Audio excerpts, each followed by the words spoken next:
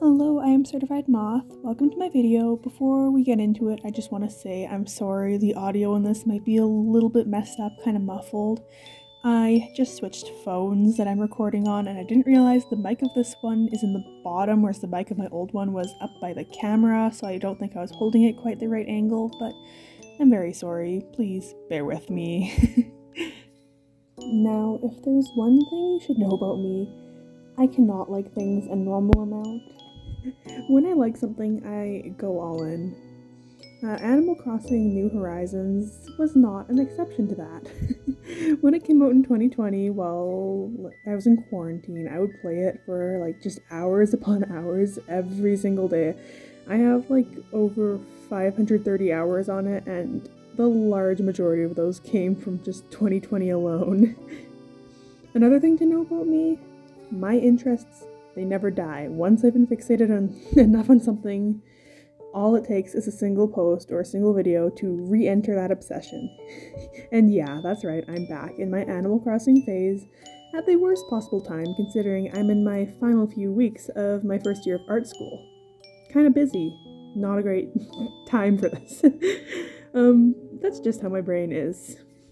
Anyways, enough of that rambling. Um, this video is another installation in my Cringe Central series, where I do things I would normally hesitate to do out of fear of being cringy.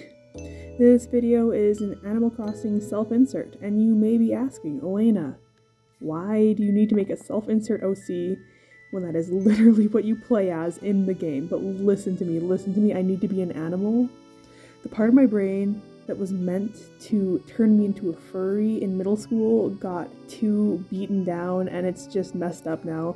Uh, you don't understand. I just I need to make myself a silly little animal.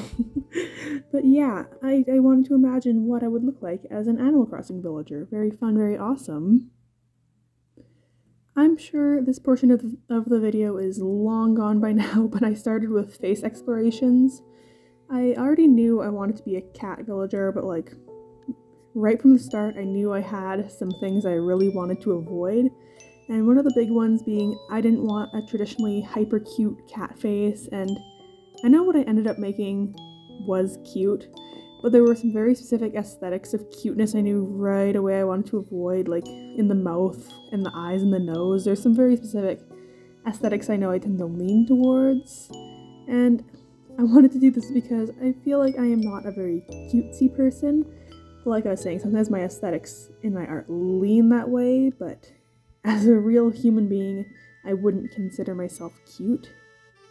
I also wanted to lean away from the aesthetic I knew I would go for without thinking, which was the brown and beige one.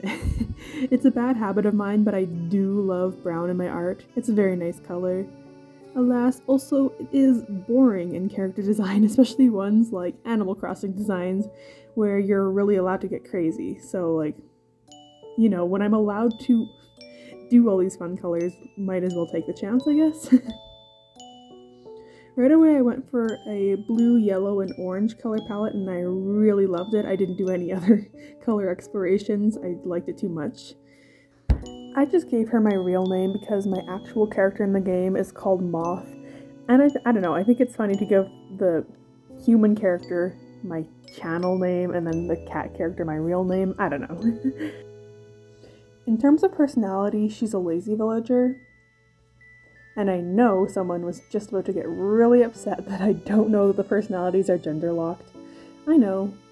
I just think that the only applicable personality to me is lazy, and I think it's stupid that they're gender locked. Also, gender isn't real. Also, I think it would be funny to have one single villager in the game that doesn't have a personality that matches their gender. For her hobby, I gave her the nature one. It was between that and music. But as much as I love music, I don't really express it by singing in public. so I thought nature fit pretty well for me. I love walking in nature. I love the aesthetics of plants and bugs are pretty cool. um, I know villagers don't really get individual lore, but if they did, I think hers would be that she's like a recent art school graduate who moved to the island to try get away from the rest of the world and find new inspiration for her art. Needless to say, she does not work a lot on her art. She mostly wanders around outside for most hours of the day, procrastinating. That's why I put her in an apron. I mean, technically, she's always ready to work. She's like technically just taking a short break, but also it's going to be another three to five hours before she does literally any more work on her current project. This is not me projecting, I promise. Uh, it's okay, girl. Just take the apron off. We all know you are not working anytime soon. I kind of wish there was a paint stained apron or like one that has a t shirt under it because A, I am the messiest painter alive. My apron is not clean. And B, I would never wear a white button up to paint. Ever. It's just like, it's asking for me to have to then go buy a new white button up. oh yeah, and also her catchphrase is meow. Not because I'm basic and unoriginal. I just meow IRL like all the time, so it fits. Anyways, on to the house. You know the obsession is bad when I drop backgrounds just for funsies. the house would be art inspired. Um, yeah, duh. It kills me that there's no easel in the game, considering I am first and foremost a painter. Instead, I just use the cartoonist set, a tablet, and a book as some art supplies. And then I also added a sewing machine, some fabric, and an iron because I just recently decided that I am going to be minoring in fiber. I also wanted to add the giant loom because I'm very interested in that kind of fiber, but alas, it is so big. It took up a full corner of the house, so I had to cut it. Um, I'm also sad there's no yarn basket in the game as far as I know because I just took up crocheting and I've been really into it and I thought that would have been fun to add, but whatever. then I just added in some fun things hanging on the walls, a speaker because I love music, sewing box on top of the closet, and then I gave it the sloppy bed and the sloppy couch because no matter how aesthetic I made this house, the reality is that if I were actually living there, it would be such a hot mess. I went with a green and brown color palette, which, hey, it's totally because green and warm brown are kind of complementary. Um, definitely not because that is just what I always draw with. But you know what? I'm allowed my comfort zone if I'm able to justify it. And if you're wondering why green and brown with a blue and yellow character was my choice, uh, it almost makes a really kind of fucked up tetrad color palette. I don't know. I like the green background on the color design sheet, so I figured use it again.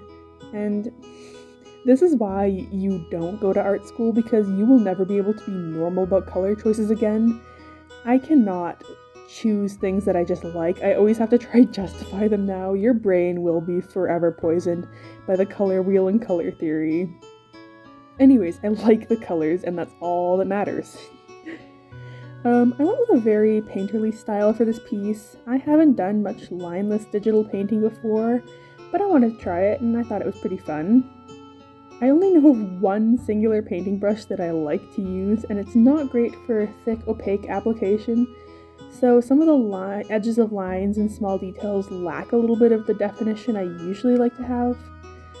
I do think it has a nice little cozy vibe to it, and I even got the perspective rulers going so you know it's actually mostly correct for once. I was interested in trying to translate my acrylic painting style into digital for this piece. That's why you see some blue underpainting poking through. The technique of underpainting definitely doesn't work in digital like it does in traditional, but I was still interested in trying it, and I do quite like some of the areas where it shines through a little bit. I had a direct reference I made in Animal Crossing, but kept the reference fully on the Switch, so I was forced to color pick with just my eyes. I find that I actually end up picking better, more harmonious colors when I do this, over just like color picking straight from the original. I played around with simplification a lot in this piece. I think, I mean, Animal Crossing New Horizons is pretty well known for being quite detailed, having really beautiful furniture and items, but me personally, I hate painting detail. It makes me miserable and bored. so I played around with different degrees of simplification. The wallpaper mostly just became blobs. The plants sort of became a general idea of what they look like, and then the wood loses its detail in exchange for just a, like a few st- thick strokes of a slightly different color to give it the feel that it's more natural.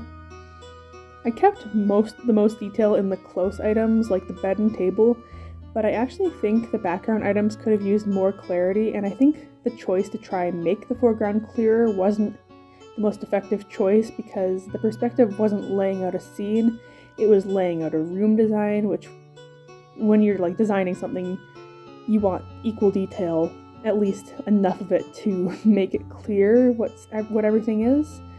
But yeah, whatever. I still am quite happy with this drawing. but anyways, that's pretty much it for this video. If you enjoyed it, feel free to like, subscribe, or comment. I always appreciate the support.